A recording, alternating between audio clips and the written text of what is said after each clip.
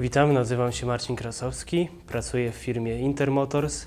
Dzisiaj chciałbym przedstawić Wam kilka produktów y, do konserwacji łańcucha z firmy Motul. Jednym z podstawowych produktów przeznaczonych do konserwacji jest y, preparat Chain Clean. Jest to spray do czyszczenia łańcucha, usuwa wszelkie zabrudzenia takie jak smar, piasek. Natomiast do smarowania łańcucha y, zalecam preparat Chain Loop. Tu mam w ręku wersję off-road, czyli przeznaczoną do terenu dla użytkowników e, enduro, motocross. Zaletą tego pro produktu jest e, to, że skutecznie chroni łańcuch przed przyleganiem e, piachu, błota. Kolejną propozycją w dziedzinie smarów Motul jest mm, produkt Chain Loop Factory Line.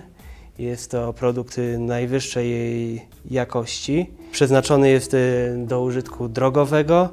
Smar bardzo czepki. Znajduje również zastosowanie na torze do jazdy sportowej.